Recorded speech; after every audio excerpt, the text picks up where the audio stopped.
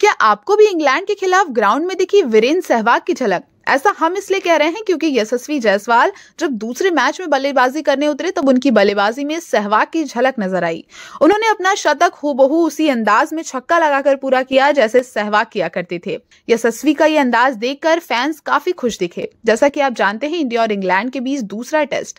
वाइजैक में खेला जा रहा है। पहले टेस्ट में इंडियन टीम हार कर इस मुकाबले में आई। हालाँकि इंडिया की शुरुआत इस मैच में भी अच्छी नहीं रही और कप्तान रोहित शर्मा चौदह रन बनाकर पवेलियन लौट गए।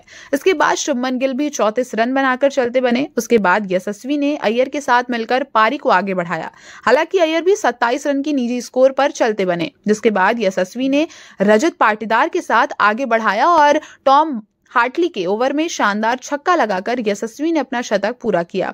इसी शतक के साथ ही यशस्वी डब्ल्यू 2025 में सबसे ज़्यादा शतक लगाने वाले खिलाड़ी बन गए हैं। उनके इस डब्ल्यू में दो शतक हो गए हैं। वो इस मामले में विराट कोहली, रोहित शर्मा, स्टीव स्मिथ और उस्मान ख्वाजा को पीछे छोड़ दिए हैं, जिनके नाम सिर्फ़ अभी एक एक शतक है।